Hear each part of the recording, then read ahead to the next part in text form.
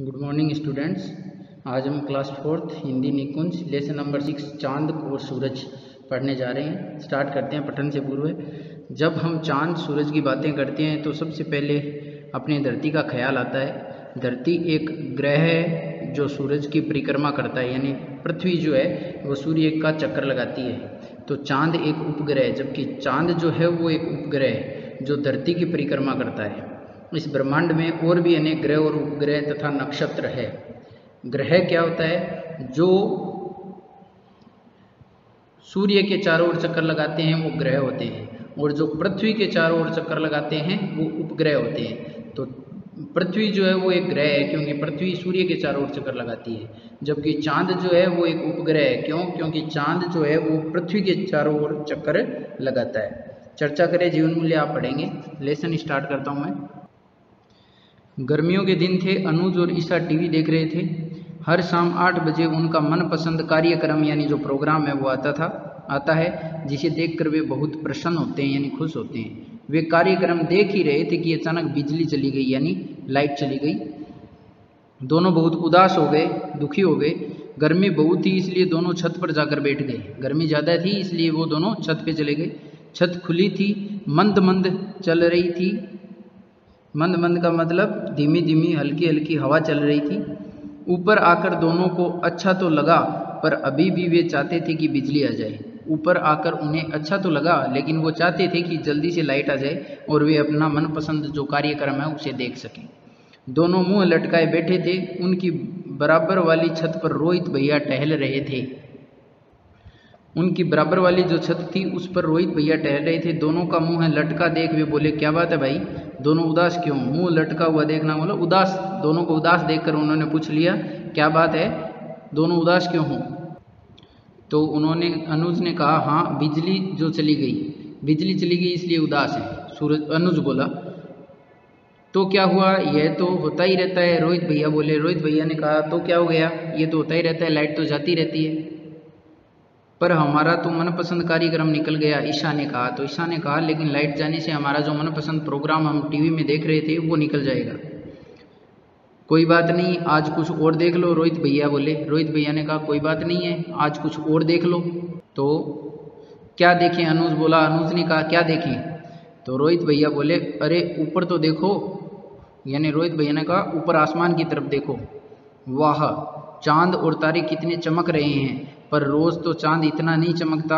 आज ये इतना क्यों चमक रहा है भैया? अनुज ने पूछा। अनुज ने ऊपर आसमान में देखा तो चाँद चमक रहा था। तो वो सुंदर लगा तो उसने कहा, वाह, चाँद और तारे कितने ज़्यादा चमक रहे हैं। पर रोज़ तो चाँद इतना नहीं चमकता। रोज़ एक जैसा नहीं चमकता है।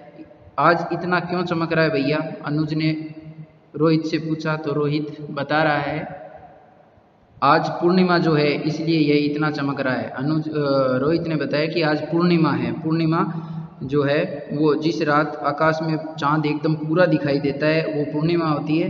तो आज पूर्णिमा है, इसलिए चाँद इतना चमक रहा है। अमावस्या की रात को बिल्कुल अंधेरी होती है। उस रात चाँद नहीं निकलता। रोहित भैया बोले, रोहित ने कहा, अमावस्या की जो रात होती है, अमावस्या जिस रात चाँद दिखाई नहीं देता। जो हिंदी महीने होते हैं हमारे उसमें पंद्रह पंद्रह दिन का पीरियड चलता है कृष्ण पक्ष और शुक्ल पक्ष।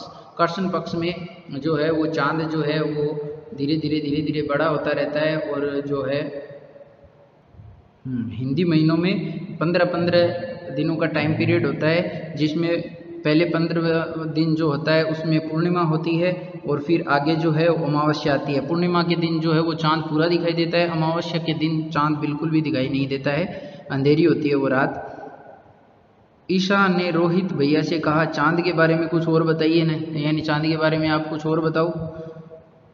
रोहित भैया बोले, चाँद हमारी धरती के चारों ओर चक्कर लगाता है। चाँद हमारी धरती के चारों ओर चक्कर लगाता है, पृथ्वी के चारों ओर चक्कर लगाता है, इसलिए ये एक उपग्रह है। धरती से कुछ लोग रॉकेट में बैठकर चाँद पर गए हैं। हमारी पृथ्वी से कई जो साइंटिस्ट है, वो रॉकेट में बैठकर चाँद पर भी गए हैं। वहाँ का नज़ारा देखकर वे खुशी से उछल पड़े।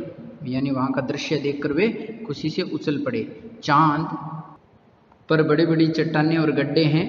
वे लोग वहाँ से मिट्टी और चट्टानों के नमूने धरती पर लेकर आए हैं। यानी जो साइंटिस्ट है, वो चाँद के चाँद पे जहाँ पे मिट्टी और चट्टाने हैं, गड्ढे हैं तो वहाँ की मिट्टी और वो धरती के नमूने लेकर आए हैं पिक्चर भी लेकर आए हैं। पर भैया, चाँद में इतनी चमक कहाँ से आती है? अनुज ने पूछा। अनुज ने पूछ लिया कि चाँद चमकता क्यों है? कहाँ से चमकता है? कैसे चमकता है? तो रोहित भैया बोले, चाँद को सूरज से प्रकाश मिलता है। चाँद को सूरज की रोशनी चाँद पे गिरती है तो चाँद चमकता है। हमारी धरती को भी वही प्रकाश देता है। सूरज हमारी धरती के सामने जब होता है तो धरती पे भी प्रकाश होता है। चाँद के पास अपना प्रकाश नहीं होता है। चाँद के पास, जैसे सूर्य के पास खुद का प्रकाश है, वैसे चाँद के पास प्रकाश नहीं है। चाँद तो सूरज के सामने आने पर चाँद जो है वो चमकता है। लेकिन सूरज को यह प्रकाश कहाँ से मिलता है? ईशा ने पूछ लिया। ईशा ने पूछा तो सूरज कैसे चमकता है? तो सूरज एक तारा है। रोहित बता रहे हैं कि सूरज एक तारा है, नक्षत्र है। उसके पास अपना प्रकाश है। उसके पास रोशनी जो है वो खुद की है। आसमान में जो तारे चमचमा रहे हैं, सब हमारे सूरज की ही तरह है। सूरज भी एक प्रकार का तारा है। और आसमान में जो तारे हैं, वो भी चमचमाते हैं। तो इनमें से कई तारे तो सूरज से भी बड़े हैं। जो तारे आकाश में चमकते हैं, वो सूरज से भी बड़े हैं। ये हमसे बहुत दूर है, इसलिए छोटे दिखाई देते हैं। रोहित भैया ने बताया कि लेकिन ये चार, ये जो तारे हैं, ये पृथ्वी से बहुत ज़्यादा दूरी पे है, इसलिए ये छोटे दिखाई देते हैं। पर इनमें से कुछ जो है, वो सूरज से भी बड़े होते हैं। अनुज और ईसा। तो रोहित ने बताया कि ये हमसे बहुत ज़्यादा दूर है तारे, इसलिए ये छोटे दिखाई देते हैं। अनुज और ईसा बड़े ध्यान से रोहित भैया की बातें सुन रहे थे, तभी उनके क्षेत्र की बिजली आ गई, यानी उनके एरिया का जो इलाका था, वहाँ की लाइट आ गई। दोनों उठे और रोहित भैया को बाय बाय कहकर छत से नीचे उतर आए। पर आज वे खुश थे क्योंकि रोहित भैया ने इतनी अच्छी जानकारी जो दी थी, वे बहुत खुश हो गए क्योंकि रोहित भैया ने उनको चाँद, सूरज और तारों के बारे में जो है, वो बहुत अच्छी अच्छी जानकारी दी थी। तो इस प्रकार ये लेसन कंप्लीट हुआ। उम्मीद करता हूँ ये लेसन आपको समझ में आएगा। ये वीडियो देखने के बाद आप इस लेसन को रीड करेंगे अपने बुक में। इस लेसन का जो भी बुक पार्ट और नोटबुक पार्ट होगा, वो आपको सेंड कर दिया जाएगा। Thank you have a nice day